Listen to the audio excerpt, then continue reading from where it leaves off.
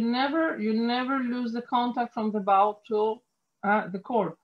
Uh, we have to really understand that legato means also uh, to sing between the notes. It's not just the notes. So please don't don't sing in a percussive way. You're not a keyboard. You're not a piano.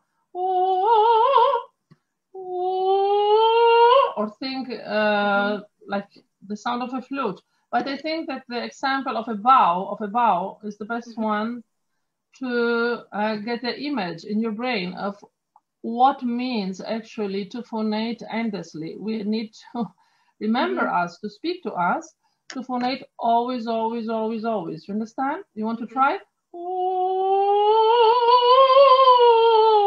I don't know if you hear it, but it, there is a sort of little, how can I say, little baby glissando portamento between the notes. I don't know if you hear it.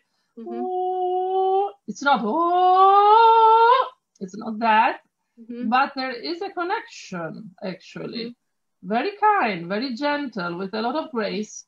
Do you hear it?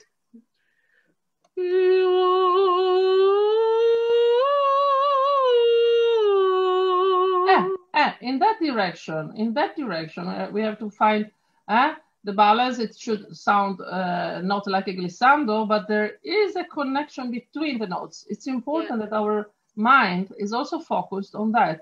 What happens between the notes?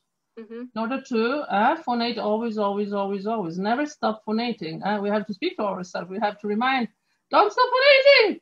You understand? Mm-hmm. It's very important. Yeah. And you get the legato. Yeah? Yeah, let's work on that. Yeah, let's try again. Huh? Thank you so much. Huh?